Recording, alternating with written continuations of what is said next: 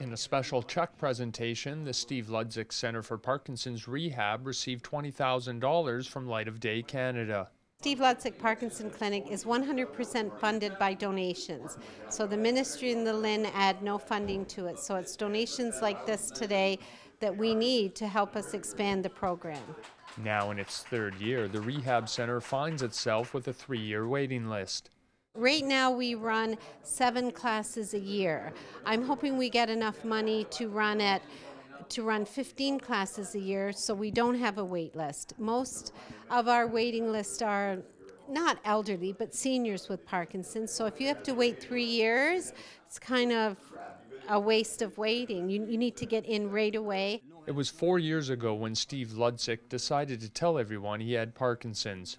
And I came home for the summer and I went, geez, my head, my little finger was twitching. I went, geez, that, the nerves losing that year in Tampa Bay was maybe that bad. But I had all kinds of excuses I came up with, this and that. And finally, my wife said, you better go to the doctor, neurologist, and get checked out. And I went and they diagnosed me with Parkinson's disease and just walked out. I was sitting there by myself in the room. And any which way, um, long and short of it is, I decided that I was going to keep working and coaching, and it got worse and worse and worse and I try to hide it, and, and that's that's bad too.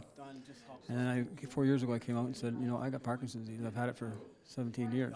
I came to the Hotel Dieu Shaver with an idea about opening a rehabilitation center for Parkinson's disease, and they've been nothing but great to to our foundation, and um, things have worked out very well. And it's rated the number one Parkinson's rehab clinic in Canada.